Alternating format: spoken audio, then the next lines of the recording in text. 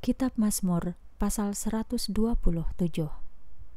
Kemakmuran berasal dari Allah.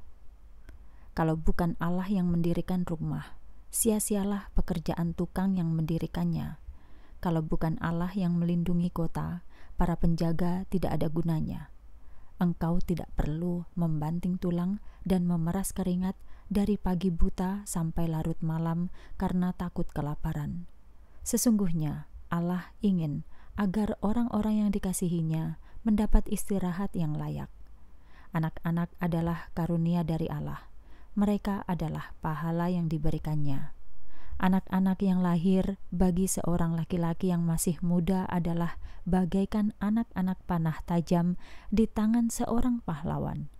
Berbahagialah orang yang tabung panahnya penuh dengan anak panah. Orang seperti itu akan memperoleh segala bantuan yang diperlukannya ketika bertengkar dengan musuh-musuhnya.